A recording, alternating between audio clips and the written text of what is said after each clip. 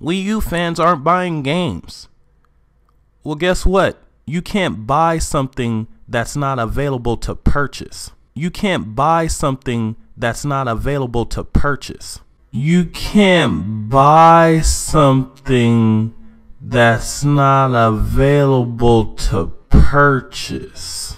As you know, the Wii U has not only had a better overall lineup of games this generation, better overall lineup of games this generation, better overall lineup of games this generation. Oh my god! Oh!